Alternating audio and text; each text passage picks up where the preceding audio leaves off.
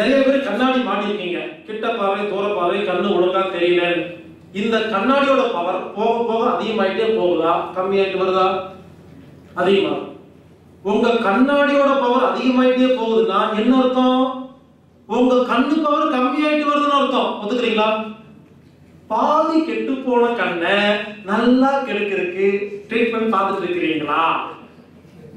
தானே லாஜிக்கு கண்ணு பாதி கெட்டு போச்சு டாக்டர் போனீங்க. கண்ணாடி மாட்டி விட்டாங்க பவர் அதிகமாயிட்டே போகுது. அப்ப என்ன பண்ணுது? கண்ணு பவர் கம்மியாயிட்டு வருது. இதுக்கு பேர் ட்ரீட்மெண்ட் இதுக்கு டாக்டர் ஒரு விஷயம் தெரியுமா? கிட்ட பார்வை தூர பார்வைங்கிறது கண்ணு சம்பந்தப்பட்ட நோயே கிடையாது. அந்த கண்ணை குணப்படுத்துறதுக்கு உங்க உடம்புக்கே தெரியும். அதுக்கு தேவையான ஒரு பொருள் ரத்தத்துல அஞ்சு வருஷமா கெட்டு போய் கிடக்கு. அதுக்கு தேவையான ஒரு பொருள் நாலு வருஷமா ரத்தத்துல இல்லை. உங்க ரத்தத்தின் அளவு கம்மியா போச்சு. கண்ணு கெட்டு போச்சு மனசு கெட்டு போச்சு. மறுபடியும் அதான் சில பேர் இருக்காங்க.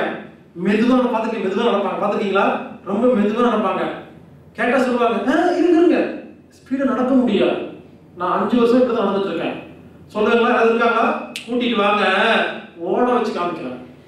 என்ன பண்ணுவேன் இந்த மாதிரி ஒரு ஆளுக்குள்ள விட்டுட்டு ஒரு சொறி நாயை துரத்த வைப்பேன். ஒரு வாரம் பாருங்க திக்கு திக்குன்னு.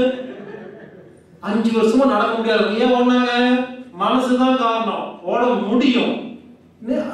இவனே முடிவு அடிக்கிறது நடக்க முடியாது. உட்கார முடியாது அப்படின்னு. பெரிய காம்பவுண்ட் வால் கட்டி இத்தனை வைத்தீங்க அதை குதிக்கன்னு சொல்றேன். குதிப்பீங்களா? ஒருத்தர் குதிக்க மாட்டீங்க.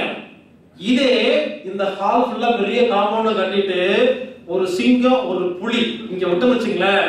அது அப்படிங்கிறதுல அத்தனை பேர் அதான் இருப்பீங்க எப்படி வந்தாலே தெரியல. எனக்கு தெரியும் மனசுதான் காரணம் எல்லாத்தாலும் எல்லாமே முடியுங்க. நாய் துரத்தனா மட்டும்தான் நமது ஓட்டத்துடைய பவர் நமக்கு தெரியுங்க. உங்களெல்லாம் நாய் யாரும் துரத்தல அதெல்லாம் ஒரு பவர் தெரியல. எனக்கு சின்ன வயசுல நிறைய நாய் துரத்தி இருக்குது நான் சொல்றது பல கெட்ட எண்ணம் பிடிச்சவங்க பல விஷயத்துல டிஸ்டர்ப் பண்ணும்போது அதை அதை நோக்கி ஓடுற பார்த்தீங்களா தப்பிச்சு அப்பதான் நம்ம பவர் எப்படி எப்படிப்பட்ட பவர் இருக்குன்னு.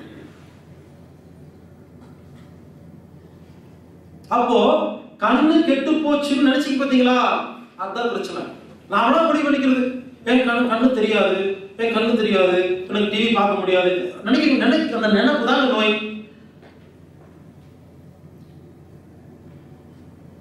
உங்க கண் டாக்டர் கொஞ்சம் யோசிச்சு பாருங்க. கண் டாக்டர் கண்ணாடி மாட்டிருந்தாரா எல்லா கண் டாக்டரும் முக்காவாசி கண்ணாடி மாட்டிருப்பாங்க பாத்துட்டீங்களா நான் கேட்கிறேன் தன் கண்ணவே ஒழுங்கா வச்சுக்க தெரியலையே. அவர்கிட்ட நீங்க போனீங்க. கண்டாக்டர் தான் கூட்டிட்டு வாங்க.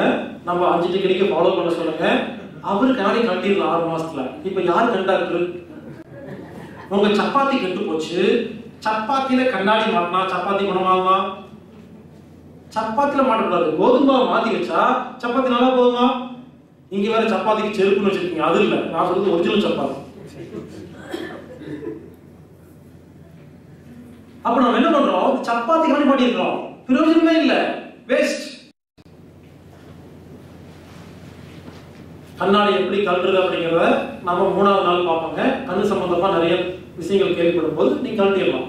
இப்போதைக்கு நீங்க புரிஞ்சுக்க வேண்டியது கிட்ட பார்வை தோறு பார்வைங்கிறது கண்ணு சம்பந்தப்பட்ட நோய் இல்லை.